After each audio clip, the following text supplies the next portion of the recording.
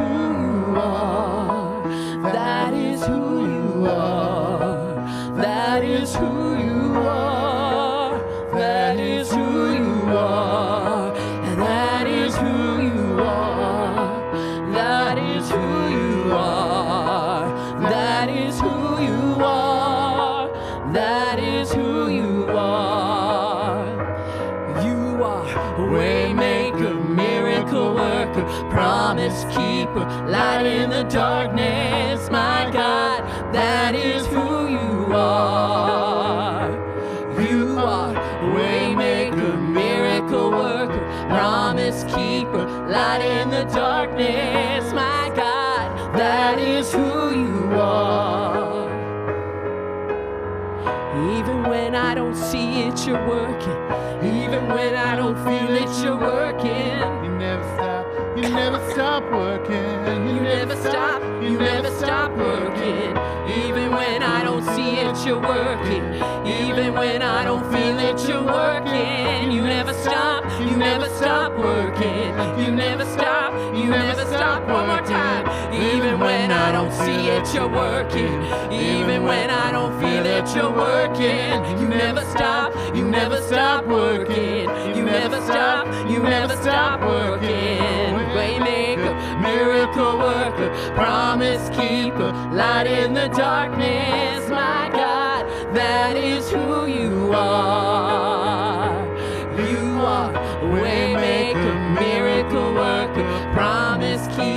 Light in the darkness. My God,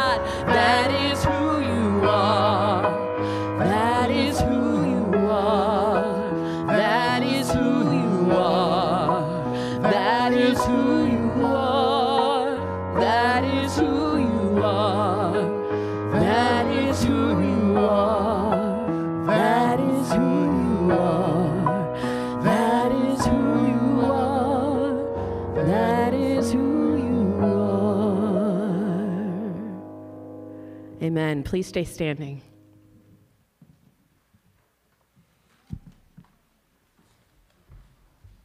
Good morning. Please stand and join with me the opening prayer. Oh, you are standing.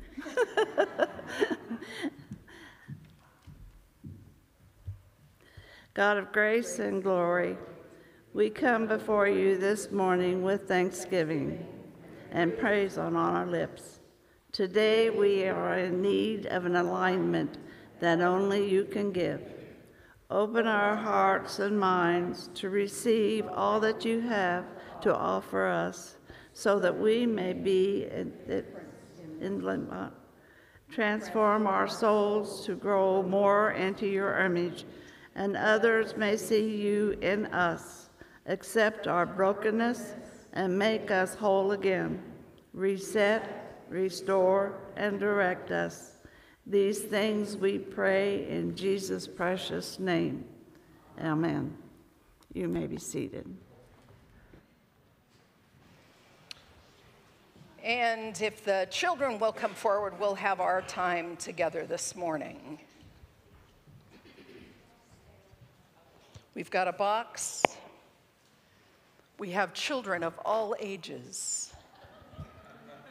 All right. I'm sitting over here, way over here. So, Helen, you had the box. Did a grown up get to see it first? And is it not alive? Okay, not alive, and a grown up got to see. And it's, it's heavy. It is full. All right, well, first, I've changed my location because sometimes change is good. Sometimes we need to shift where we are, to shift our perspective, to move into a new place. So let's see. Are y'all ready? Are you sure? All right. Oh, there are a number of things. All right. Oh, where to start? First, let's shine a light on it. Where were you on the night of the 17th? Oh, no, okay. So there's a flashlight. There's a flashlight. There is map. Yellowstone, one of my favorite places. Beautiful. All right. Okay, let's see. If we're headed toward, let's plan this trip. You know, it helps if the map is right side up. Oh, no, I was right the first time. Okay. Now, if we're coming from the west and going to the east, it'll be a while. Talk amongst yourselves while I, while I plan this route. Okay. So we make our way. So we've got a, we've got a map, we've got a flashlight. Oh, we have something on a string. Let's see. Yes, it is indeed a compass. I am headed, I am facing due north at this moment, just so you know. Uh, let's see, wait. No, this would be due north. How did that get to be north? Have you ever figured out why streets go a certain way and you're sure that you're going east? And if you've had, did your father have on his dashboard the compass that turned around while you were driving? My dad had that, and it always said we were going the wrong direction. I was sure that that was north, and it's not. North is that way, just so you know. Okay, so we have, we have a map, we have a flashlight, we have a compass, and we have what I think is a Bible. This is really cool. It's got a snap. And it has really teeny tiny print. And I could even find the scripture for today, which comes from the book of Acts, which is toward the back in the New Testament. And yep, there it is. Well, when we are seeking direction, what do we do? What do we look for? Our scripture today talks about two different people who were moving in a specific direction one who was a faithful follower of Jesus, and the other who was, well, a persecutor of Christians. And they both thought they were headed in the right direction, doing the right thing, and both of them had significant changes in their, in their world and they had to change direction. I don't think either one of them had a flashlight, although a flashlight is helpful if you need to change where you're going. I'm not sure that they had a compass either, although very helpful if you're trying to navigate where you are in perspective on a map. Now, they may have had a map. I doubt it was pretty color paper like this one, but I don't know that they were using a map to get where they were going in terms of following, following God in Christ. And they had God's word, although not in a neat and tidy book just like this, but they had God God's word in their heart. Now, Paul, Saul had a, an extreme experience. He was out and he was trying to do away with the, the Christians. And Ananias was a faithful Christian, and they were supposed to work together. Now, when you use these things together, you can make your way through just about anything. You can make your way through the physical world with a map if you learn how to read it, and with a compass if you understand how it works, and with a flashlight as long as you have good batteries. But, friends, when we have the scripture with us, when we have it not just to read, but we, we memorize it, and for me, the best way to memorize scripture is through song. And when we learn song and have the scripture within our heart, it will lead us not only being faithful to God, but sometimes in directions that are different than what we expect. So we can change directions, make course corrections, and stay faithful to who God is in Christ Jesus. So I do, I do want to give out the box again, but I'm not gonna. I'm gonna hold on to the box this week. But I do invite you to join with me as we pray for children in our midst and children in our community and throughout the world. Let us pray. Gracious God, we are grateful for your love and your presence. We're grateful, God, for the ways in which you direct us, ways that help us to find our path and keep us on our path and to stay faithful to you. God, we pray for this church, for the children in it, the children around us, the children that you are calling for us to reach, oh God. We pray for the children in our community that they might be safe and know your love and your grace. We pray for children all around the world, some who know who you are and love you greatly, and others who've never heard your name. We pray for them to have food enough to eat and shelter over their heads, and that they might know peace. In the name of Jesus Christ our Lord. Amen. I am going to put these up on the communion table so that we can remember that we need to seek direction.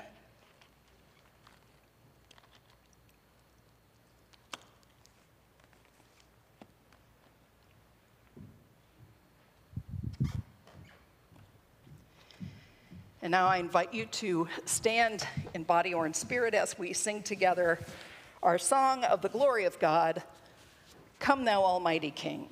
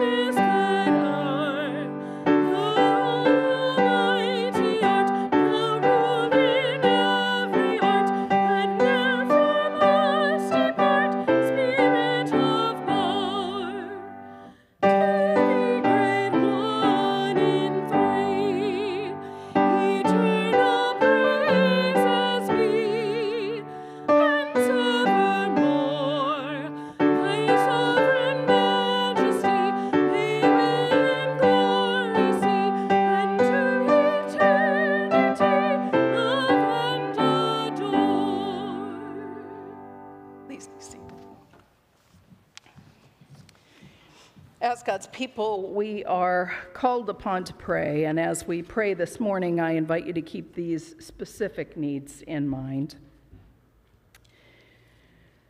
We have been praying continuously for Laura Rothar, and she is improving in health, and as of yesterday, things were looking positive for her traveling home tomorrow. So we do give God thanks and pray safe travels. And I will also say, friends, I know you all want to reach out to them. And I'm asking you to wait. I'm asking you to wait so that they can get settled, so we can hear what their needs are, and then we will respond appropriately. Send cards, but please wait on your phone calls. Please wait on any visits. Send, send cards and notes welcoming them home. They know of your love and your care, but let's let them rest and get settled. It's been a long, long journey for them. Um, and, and Laura still has significant healing that before her as well. I invite you to continue to lift up Wes and Carol Scott and Darcy and Mark Sorensen, who have been in Guatemala installing stoves and stovepipes so that people can have warmth in their homes and smoke free houses. So we pray for their work and we pray for their safe travel home as well. We continue to lift up Mavis Akiyoshi, who is recovering from hip surgery that she had on the, the week of the 15th of January. Also, I invite your prayers for my friend Robin Boring, who lost her father just this morning. So, there are many, many needs in our community and throughout the world. And I invite you to lift those as we continue in prayer together. We will begin with silent prayer, and then I will lift some words and give you the opportunity to say aloud the names of those that you love and care for who need your God's loving presence at this time. So let us be God's people and let us pray.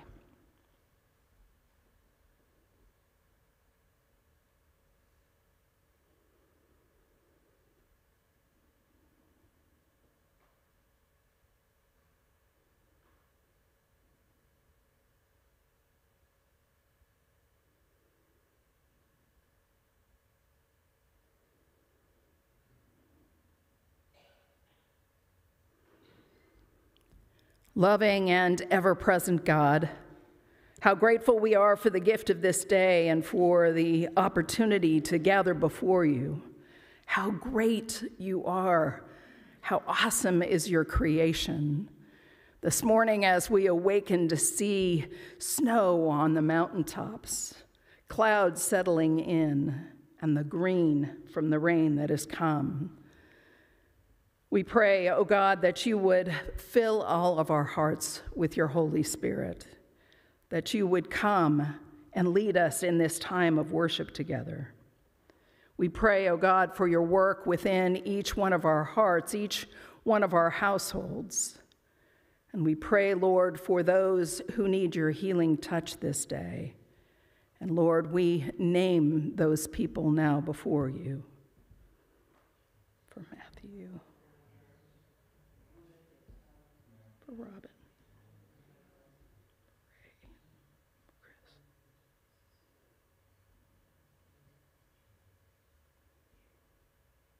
Lord, you know the people who take room within our hearts, and we lift them all to you. We pray for those, O oh God, who need your help with physical ailments. We pray too for healing for those, O oh God, who are doing battle with addiction, for those who are wrestling with spiritual questions, those who are in the throes of mental health issues. How grateful we are that you are indeed the great physician. We pray too, O God, for those who need your help within their relationships. For you can bind us closer together. We pray for those who are in the midst of grief this day, for your comfort, for your hope.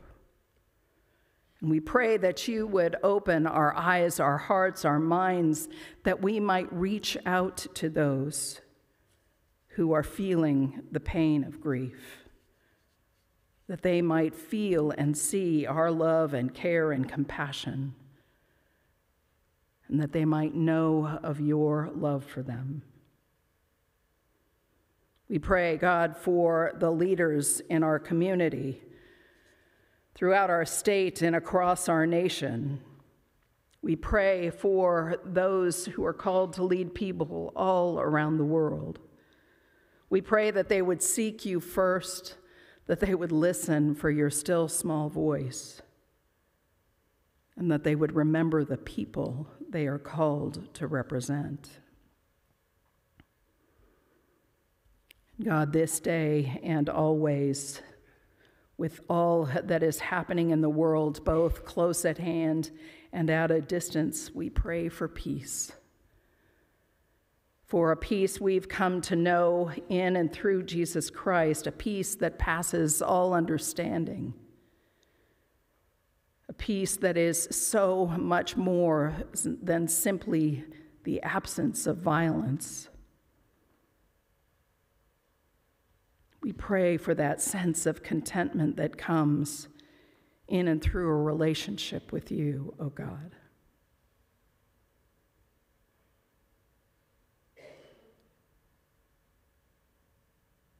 Continue to guide, continue to, to direct us. In the name of Jesus, we pray. Amen.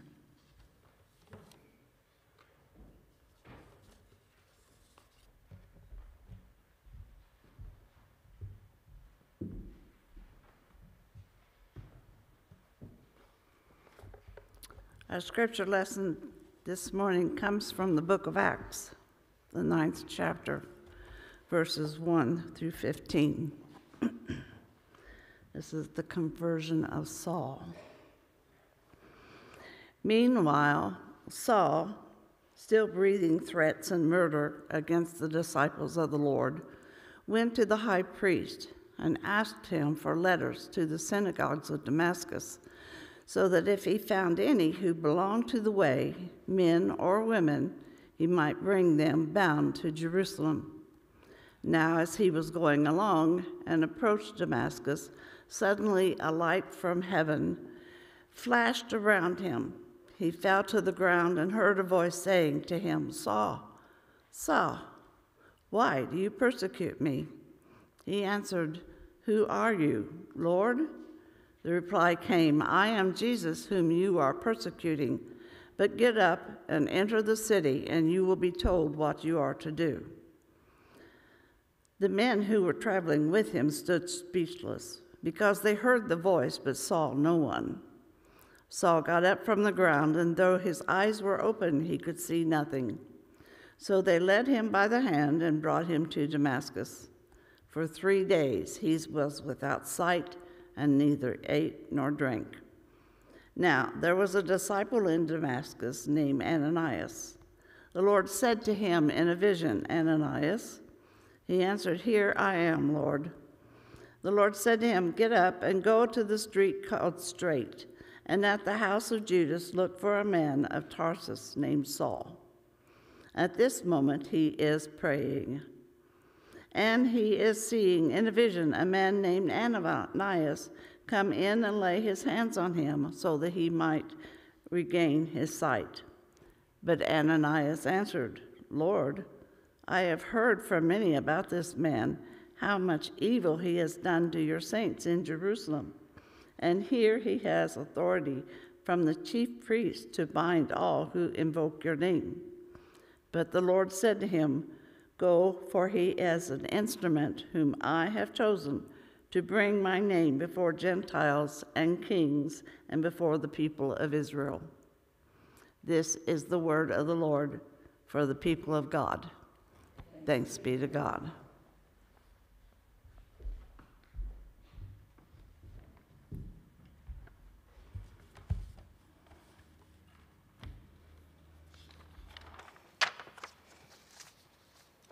Will you again bow your heads in prayer with me?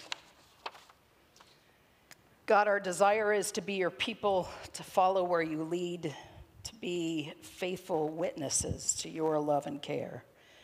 But we need the inspiration, the guidance, the comfort of your Holy Spirit. And so we pray, Come, Holy Spirit, come. Fill all of our hearts.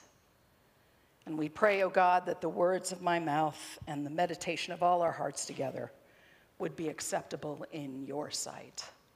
For you, O God, are our rock and our Redeemer.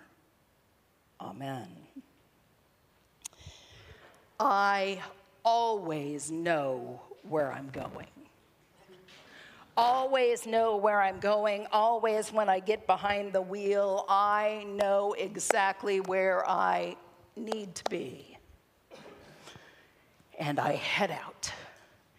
And most of the time when I head out, who remembers MapQuest? How many of you printed MapQuest directions from time to time? All right. How many of you still print MapQuest directions from time to time? All right. And so I know where I'm going. I'm in the car. I have been to this place a number of times. And so I am driving, and I'm driving, and I'm driving, and don't remember where I'm supposed to turn. Now, I'm also a person who remembers color really well. So when I remember directions, you know, I turn right at the blue house on my way to, you know, Eric's parents' house. And that's great until they paint the house. And it's no longer blue, and then I drive past it and come back. Now, the other thing is all right, how many of you are backseat drivers? All right. How many of you are willing to admit that you're a backseat driver? All right.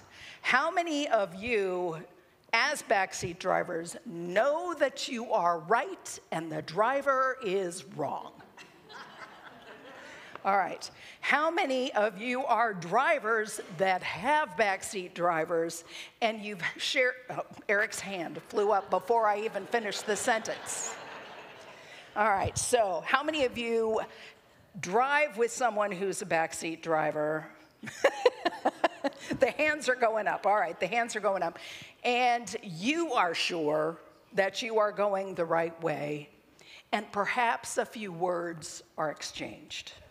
Perhaps they're a little heated. Eric keeps raising his hand back there.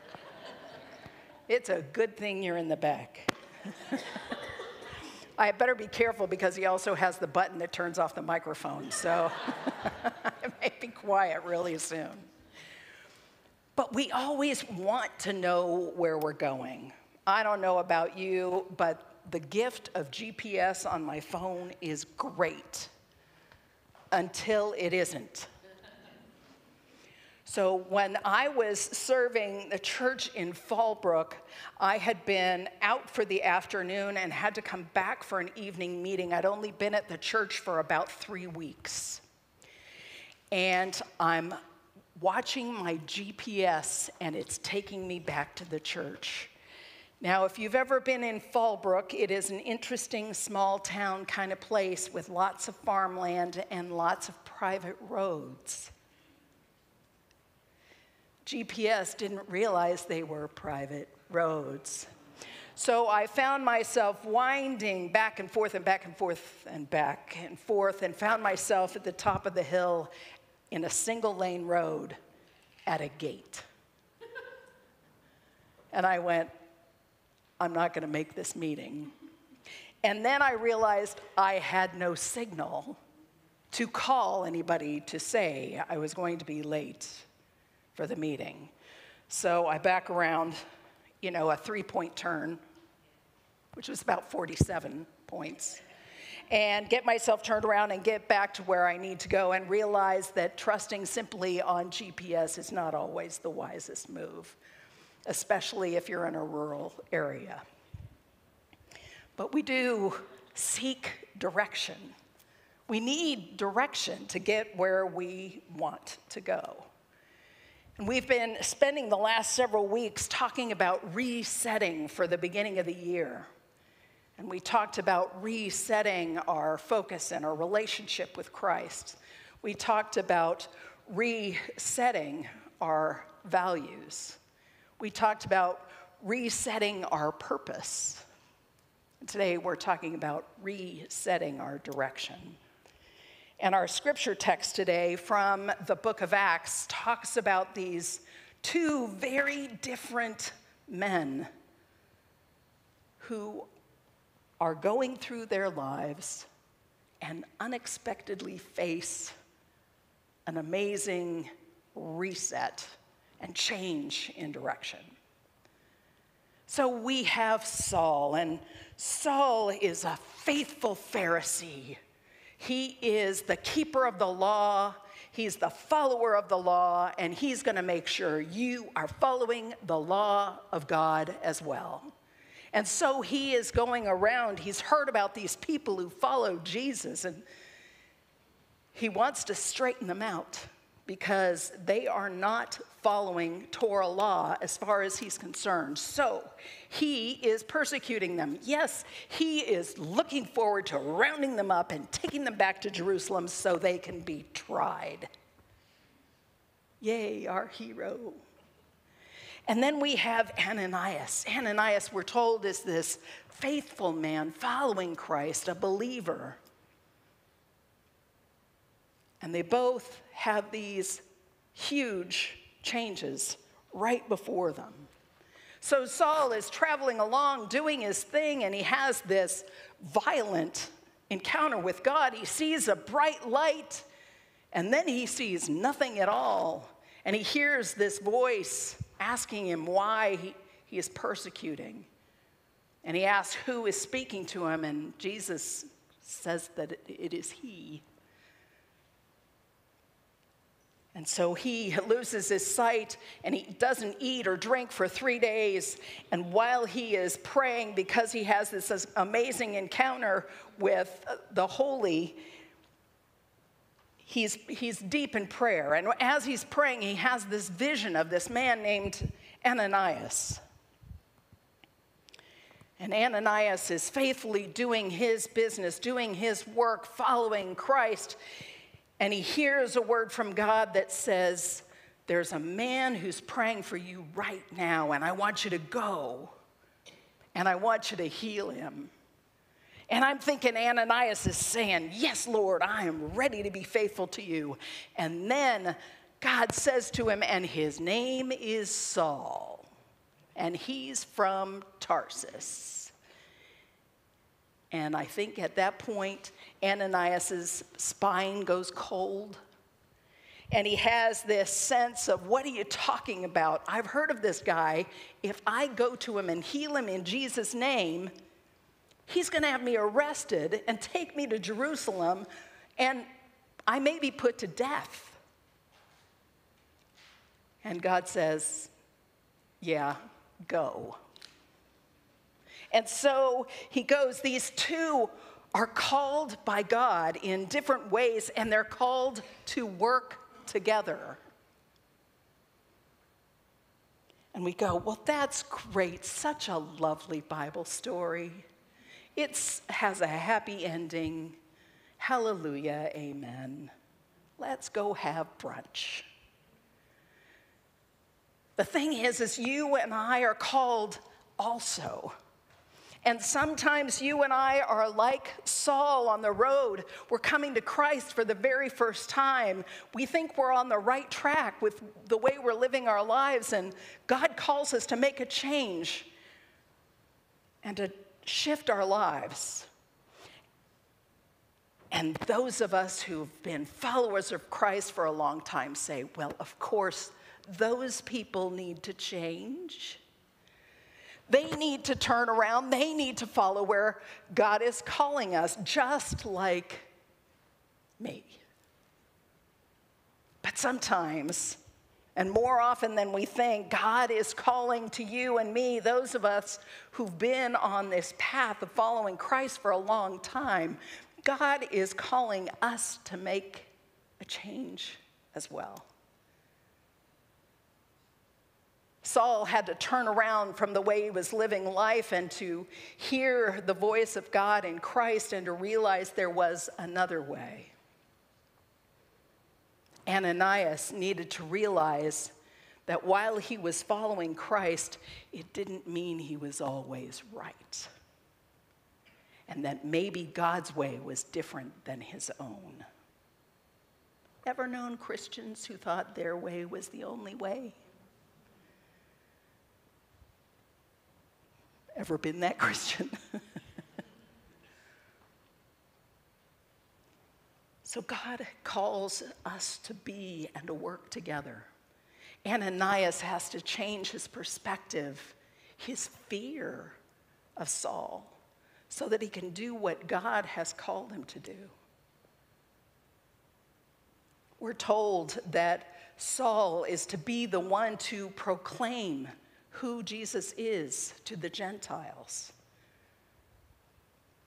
And frankly, friends, most of us if not all of us in this particular room, wouldn't be here if it weren't for Saul's ministry after his conversion and he gains the name Paul. And he travels to places far outside, far and away from Jerusalem, to places like Greece and Corinth, to Rome in Italy so that the word of God travels from place to place and that God's love for all people is made known. So you and I have come to know who God is. Friends, maybe, just maybe, God is calling on you to change direction.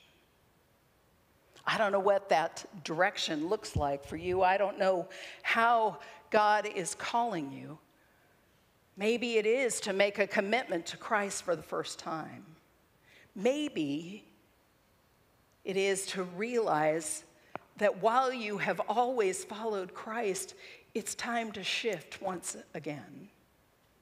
Most of us who've been on the journey of life have realized that we've made a lot of shifts over the course of time. But we need to course correct. We need to follow the directions that God has set before us. We need to spend time in God's Word. We need to spend time in prayer. We need to spend time in fellowship with one another. We need to spend time in service for God's people. And we need to welcome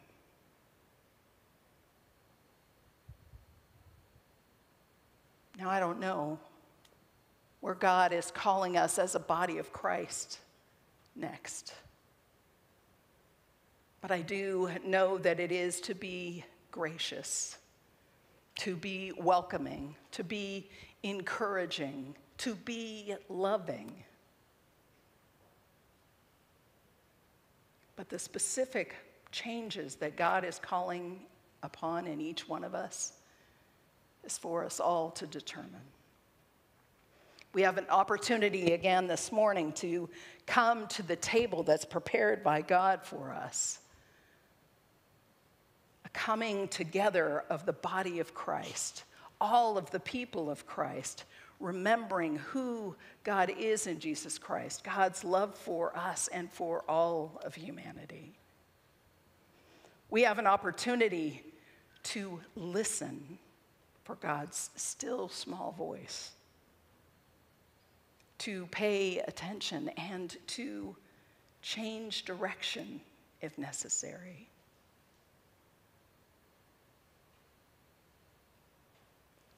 And to realize that others are making this journey as well, and we may not always agree.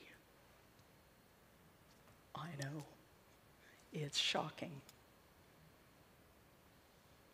Now, I want you to put your feet comfortably on the floor. I want you to sit comfortably. I want you to take a deep breath in through your nose and out through your mouth.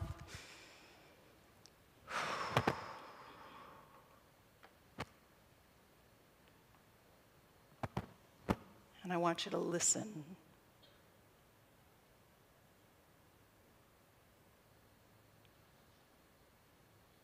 Having recentered our identity as followers of Jesus Christ, having reset our purpose, reset our values.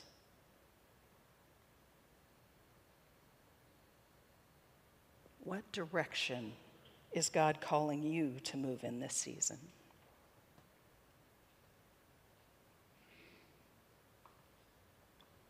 What direction is God calling our congregation to move in? To hold a new vision, to clearly state our values, to be united in purpose, even in those places where we may disagree.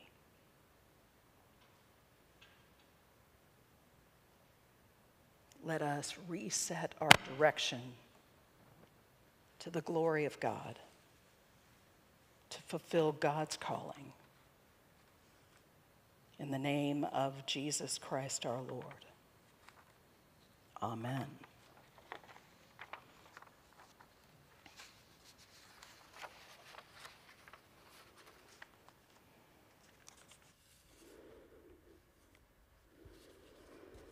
Friends, each of us is called to go in new God given directions at different times in different ways. And today you're invited to listen for God's call and to give of your time and your talent and your treasure as you feel led. As our ushers come forward this morning, know that your offerings will go toward furthering the church that Paul and Ananias were united to build, and of which we are indeed inheritors. Let us give of ourselves to God.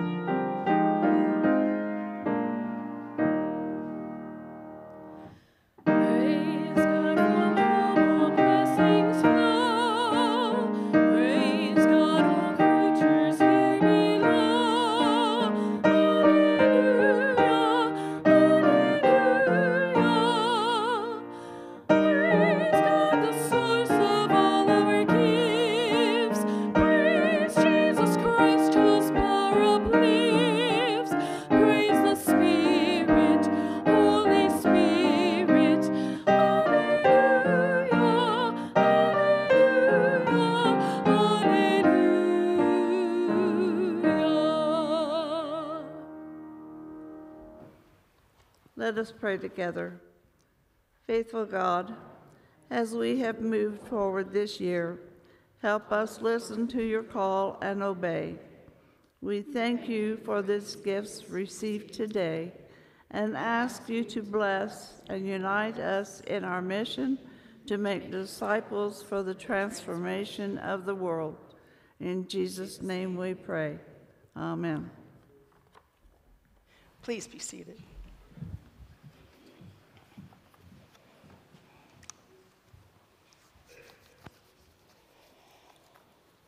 Christ our Lord invites to his table all who love him and desire to grow in their relationship with him. With humility and faith, let us prepare to receive this sacrament of grace.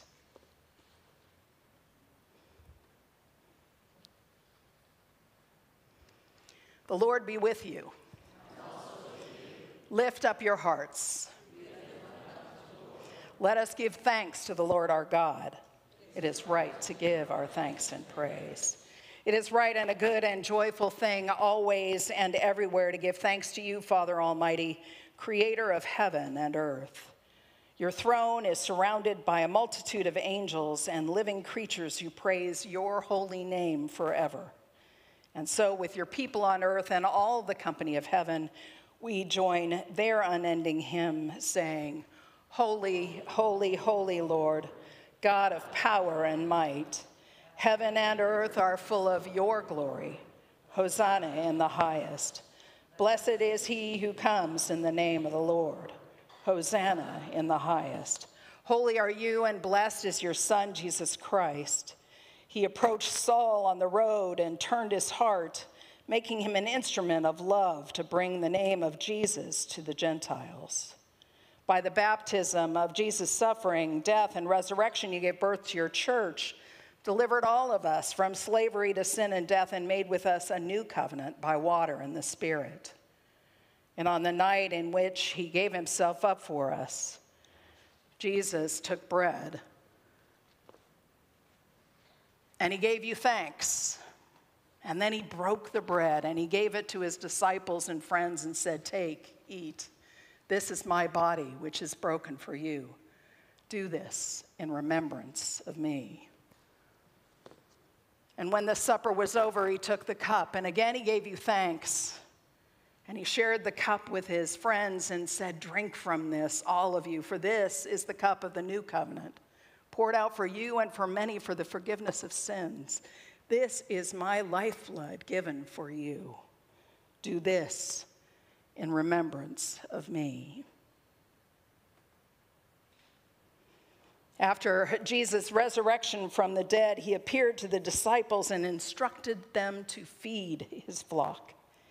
And so, in remembrance of these, your mighty acts in Jesus Christ, we offer ourselves in praise and thanksgiving as a holy and living sacrifice in union with Christ's offering for us as we proclaim the mystery of faith. Christ has died, Christ is risen, Christ will come again. Pour out your Holy Spirit on us gathered here and on these gifts of bread and cup. Make them be for us the body and blood of Christ, that we may be for the world the body of Christ, redeemed by his blood.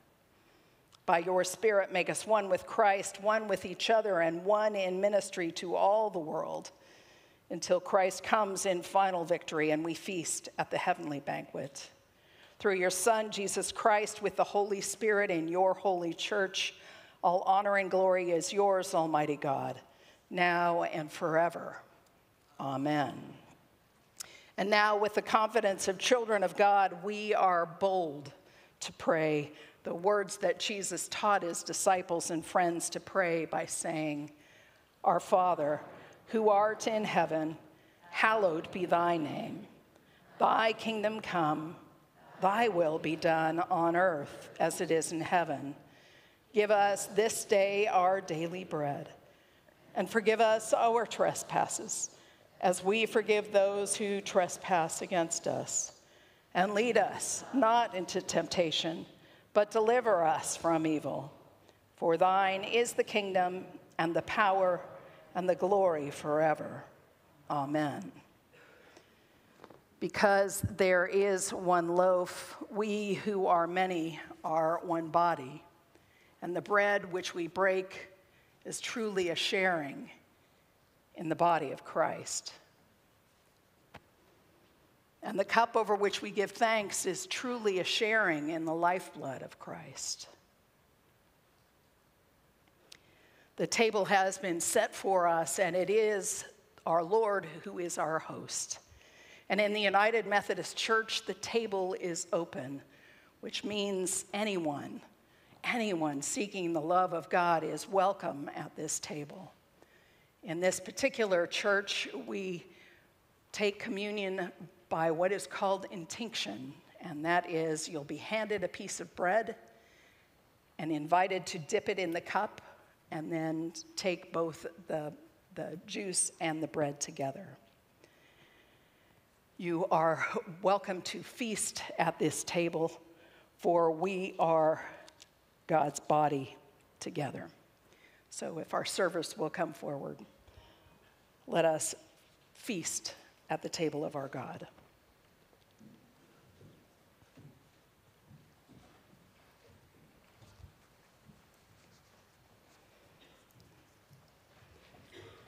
See the body of Christ broken for you. And the blood of Christ shed for you. Thanks be to God. You take the cup. Start over here. The body of Christ broken for you, Larry. The body of Christ broken for you.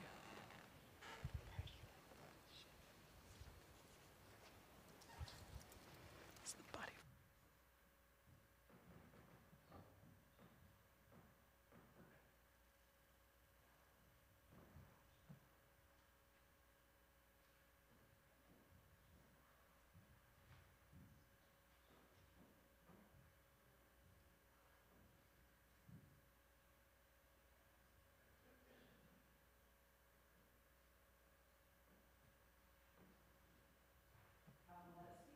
Table of our God.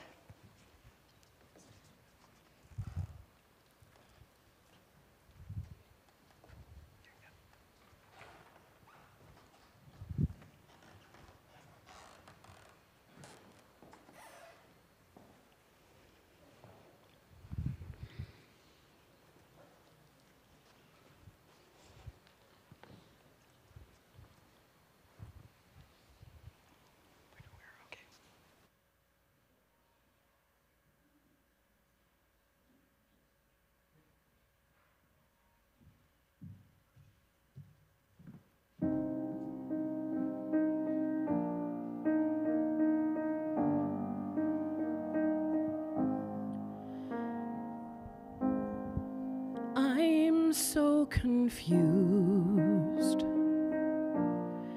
I know I heard you loud and clear, so I followed through. And somehow I ended up here. I don't want to think, I may never understand that my broken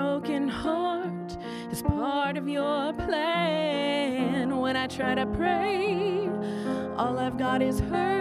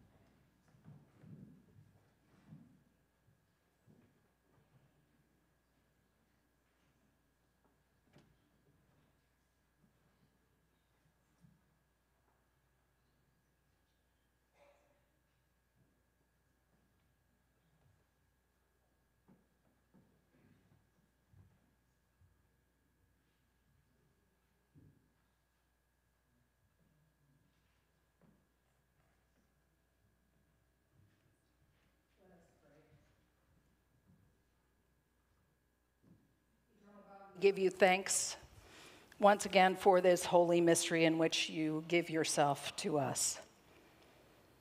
Following Christ wherever we go, grant that we may go into the world in the strength of your Spirit to give ourselves for others. In the name of Jesus Christ our Lord. Amen. And now you are invited to stand in body or in spirit as we sing our song of dedication. Lift every voice and sing. It's number 519 in the hymnal, and the words are on the screen. Let us sing together.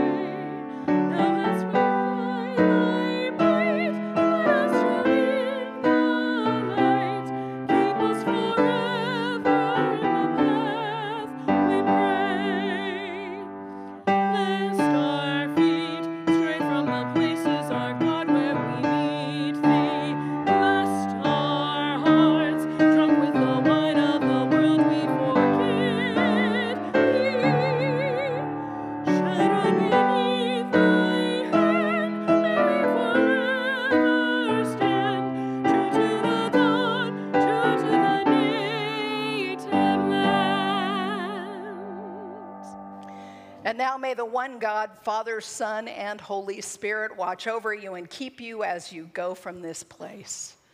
Go knowing that you've been given a new direction by the living God in Jesus Christ. Go and share the good news, the hope, and the love that you have found. Go in grace and peace. Amen.